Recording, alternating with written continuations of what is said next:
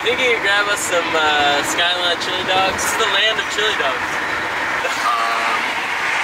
oh shit, more traffic.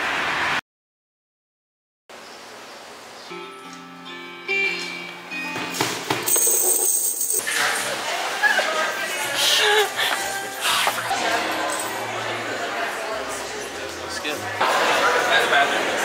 That's good. I know how theaters work. There's always an exit. I just heard someone go, Oliver.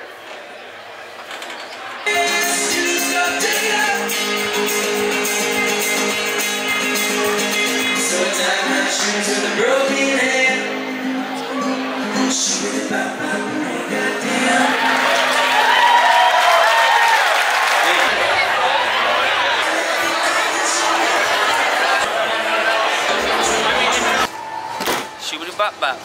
That's a wrap. It's the greatest chili dog in the world? Ohio chili dog.